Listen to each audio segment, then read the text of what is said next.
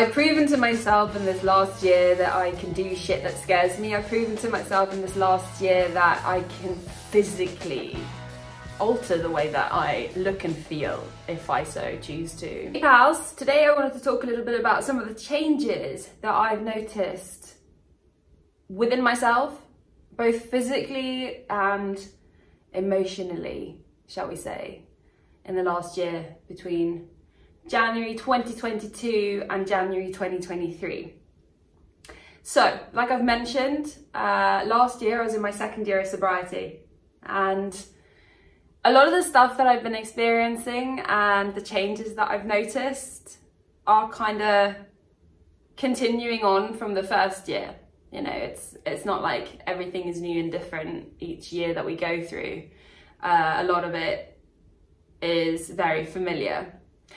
But really, I have to say, as challenging as the last year has been for different reasons, you know, like we say, even though we're in recovery, life still happens, challenges still get thrown our way. uh, you know, not to mention the state of affairs in the wider world and economic climate. It, there's a lot going on, but it's still, despite all of that, been a year where I've probably witnessed the most consistent positive changes, shall we say. The first one that I wanted to talk a bit about is an increase in self-awareness and that's something that's definitely built steadily since the first few weeks in recovery.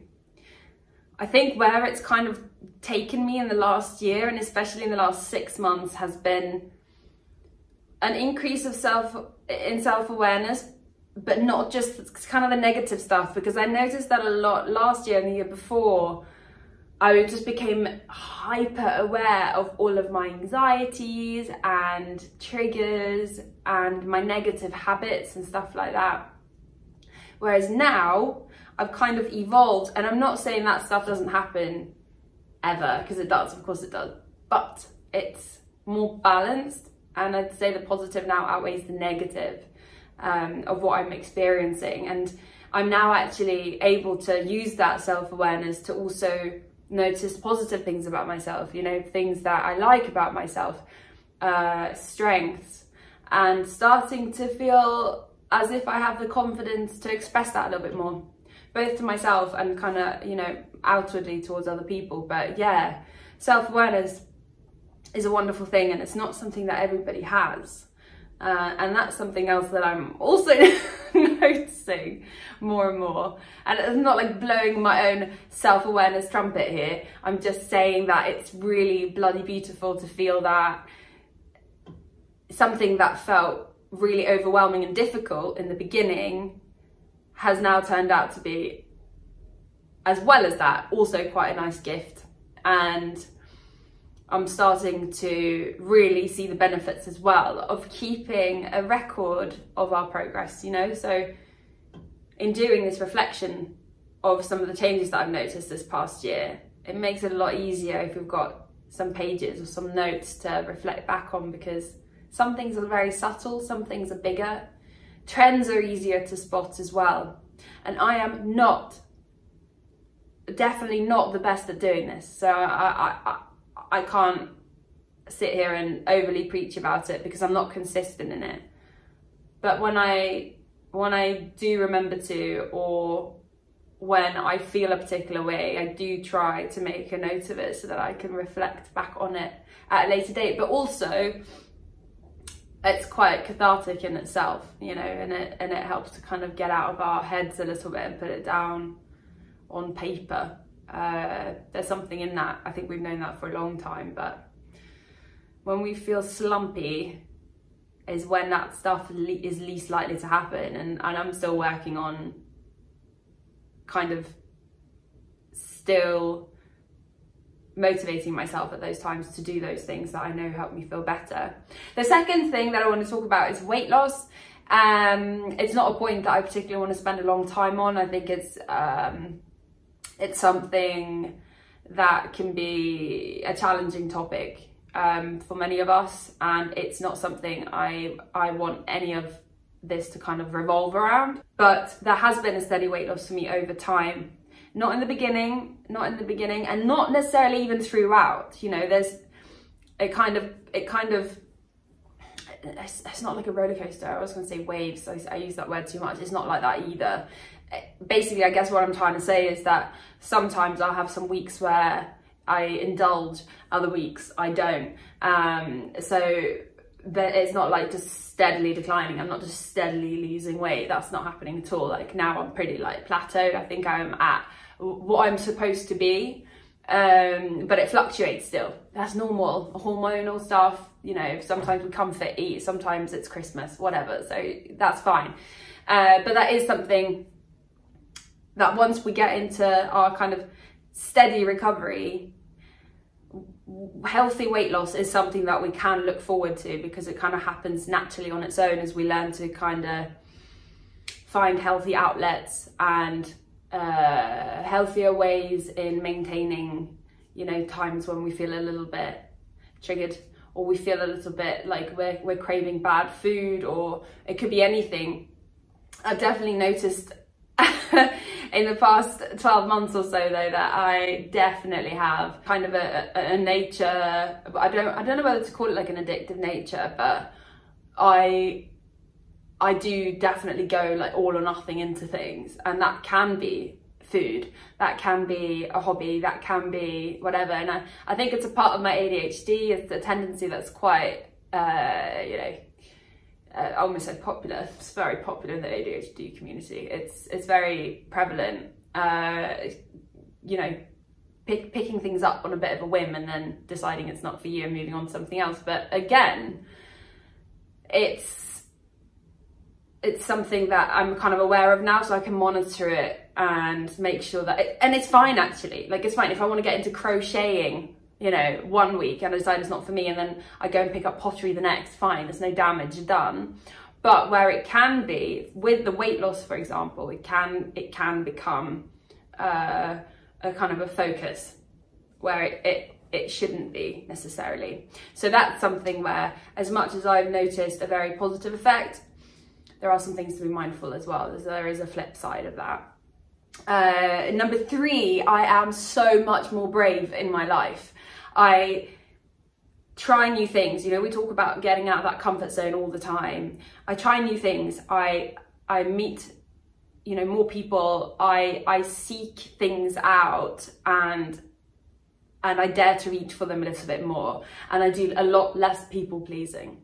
I still do have that. I still have that little niggle often um, where I'm like, oh, my people pleasing uh, little sort of devil on my shoulder is popping up again.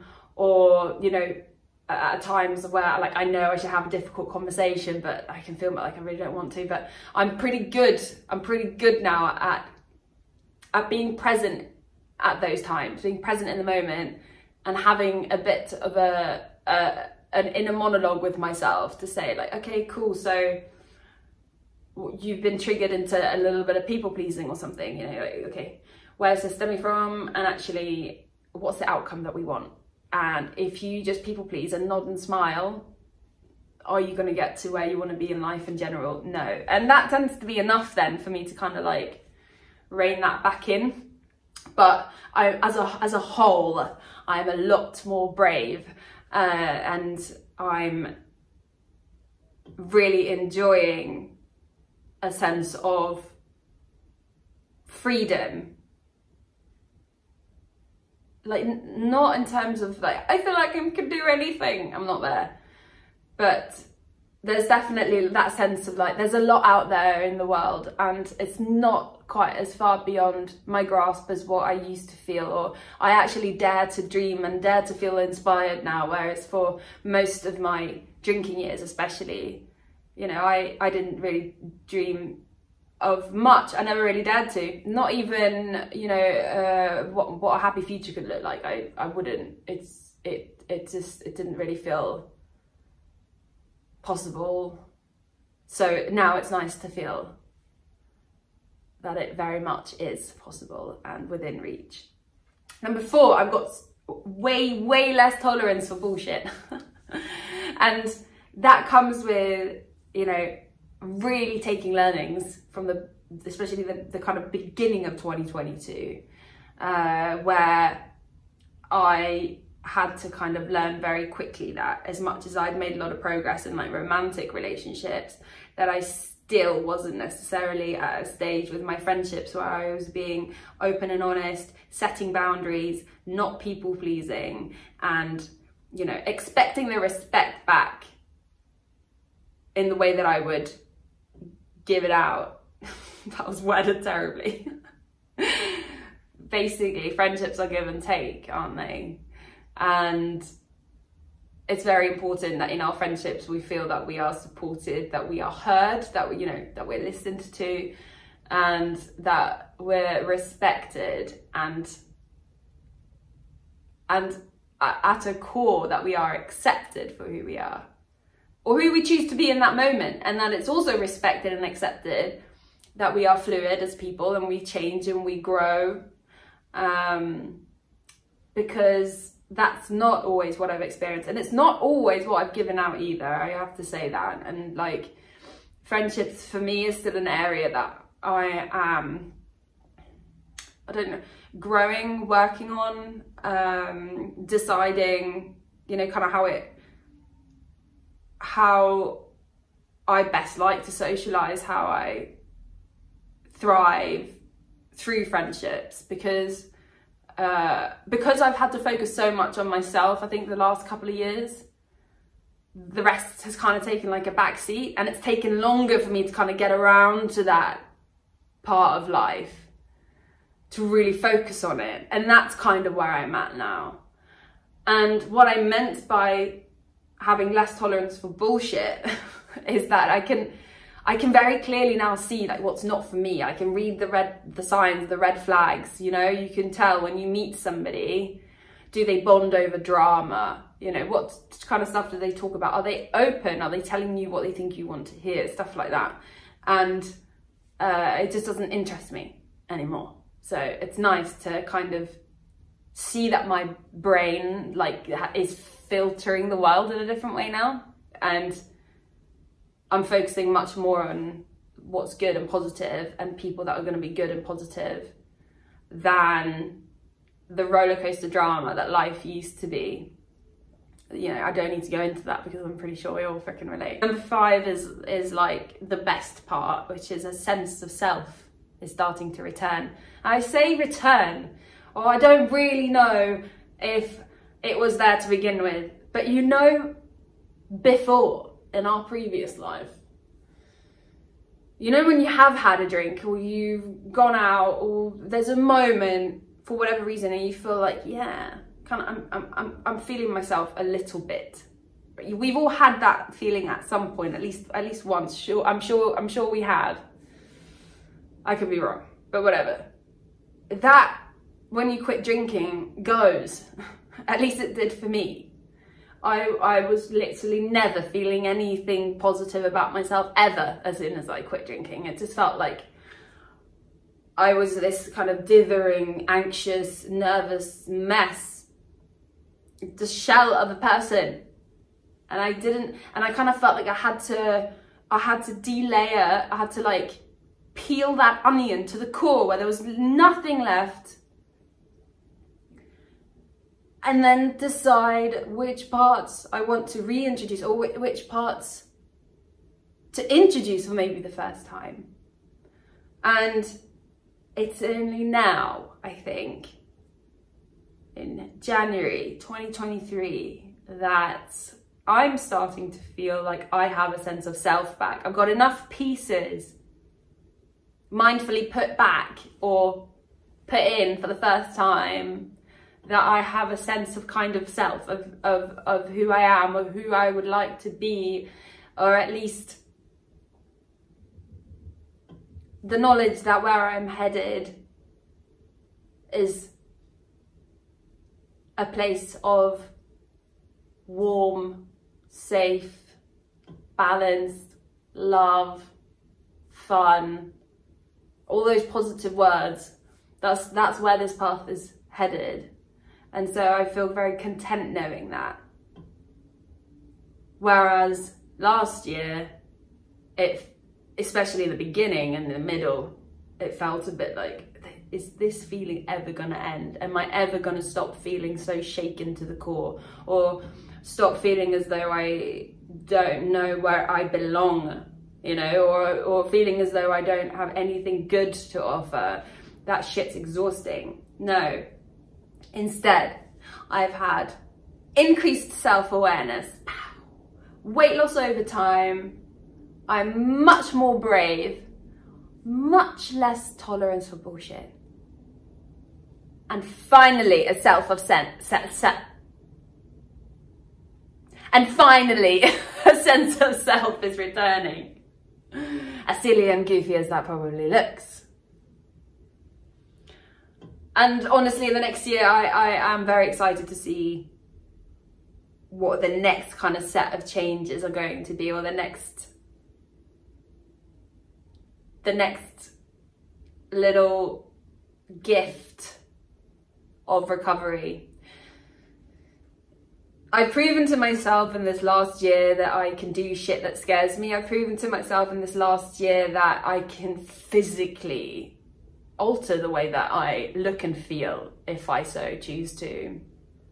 I've proven stuff to myself that I've never really done before and I probably haven't even seen all of the positive ripple effects of that yet, but I'm really excited to see where 2023 takes us.